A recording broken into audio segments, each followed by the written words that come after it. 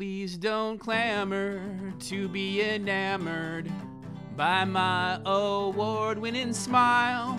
And please don't stammer at the glamour so you can stay and bask a while.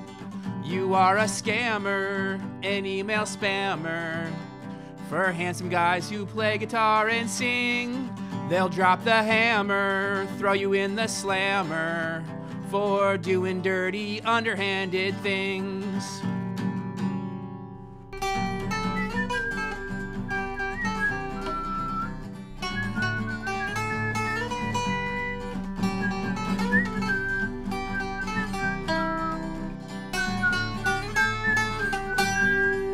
So mind your grammar, don't be a hallway jammer over my cajillion dollar smile.